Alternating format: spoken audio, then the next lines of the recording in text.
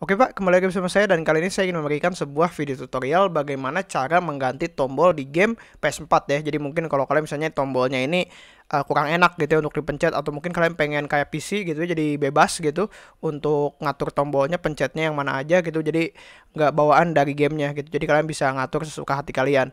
Dan sebenarnya untuk cara uh, menggantinya gampang banget kalian cukup ke setting aja gitu ya dan kalian cukup cari yang namanya accessibility gitu. Kalian bisa cari dari ketiga dari yang atas gitu. Kalau mungkin nanti ada update UI nggak tahu ya posisinya. Pokoknya kalian cari aja yang namanya accessibility yang gambarnya orang senam mungkin ya. Nah di sini kalian bisa cari yang namanya button assignment gitu ya. Kalian bisa uh, klik bulat aja atau mungkin kalian klik uh, confirm button kalian X atau bulat nah kalian pastiin untuk yang enable custom button assignmentsnya. Di sini kalian cukup pastiin dicek gitu atau mungkin uh, ya di checklist lah ya.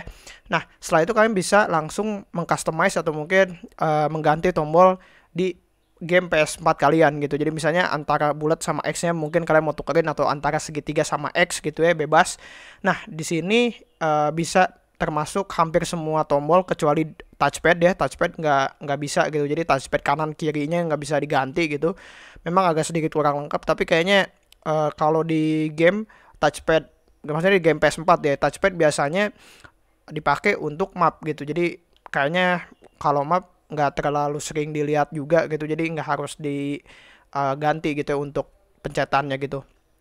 Nah tapi uh, di sini kurangnya adalah ini bukan per game gitu atau mungkin bukan per profile gitu. Jadi kalian nggak bisa bikin profile. Jadi kalau kalian misalnya game A misalnya atau B gitu itu uh, kalian misalnya mau tukerin segitiga sama R1 nya misalnya.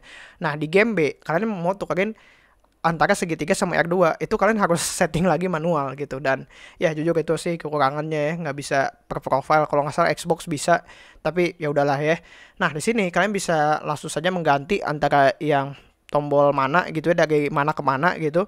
Kalian bisa ganti dari bulat ke L1 ke R1 dan ya L3 juga bisa gitu. Mungkin kalau tombol kalian misalnya tombol kalian ada yang rusak gitu ya misalnya tombol R3 nya udah nggak bener ya atau mungkin nggak responsif gitu atau nggak bisa dipencet sama sekali kalian bisa ganti ke tombol mungkin yang nggak pernah dipakai. Mungkin contohnya adalah tombol di pad mungkin ya mungkin.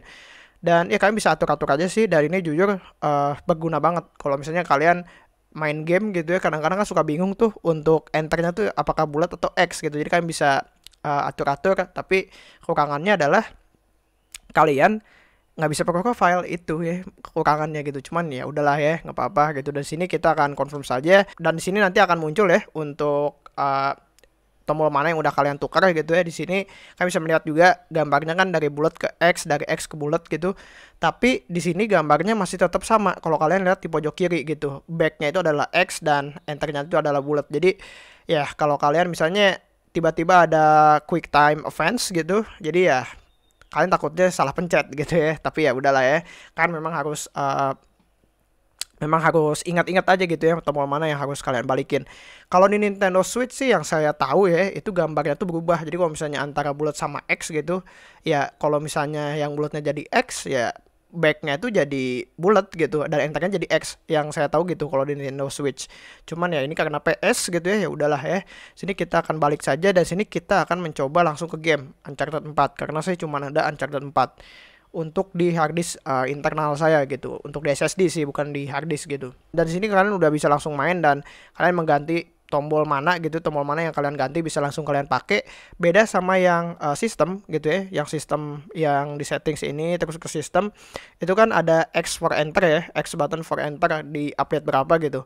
Ini cuman untuk enternya doang gitu atau mungkin untuk pilih gamenya doang kalau misalnya kalian di dalam gamenya ya tetap aja gitu tuh. Kalau misalnya gamenya tetap bulat ya bulat gitu nggak ganti ke X gitu. Sini kita akan uh, balik aja gitu kan balik lagi dan sini kita akan melihat unchartednya. Apakah sudah beres loadingnya? Oke press any button uh, pencet X story sini kita akan pilih uh, epilog aja mungkin ya sini kita akan pilih. Dan saya pencet tombol X ya bukan pencet tombol bulat dan PS saya tuh regionnya region 3 jadi atau region Asia jadi pencetnya tuh bulat gitu kayak region kayak region Jepang itu biasanya untuk enter itu bulat gitu bawaannya. Kalau regionnya Amerika biasanya X gitu atau mungkin Eropa ya kalau nggak salah. Dan ya udahlah gitu doang ya. Kalian bisa coba langsung gitu ya dan uh, di sini kita akan exit saja gamenya. Takutnya jadi spoiler ya gitu ya. Dan ya jadi cukup segitu doang sih untuk videonya dan thanks for watching. Bye bye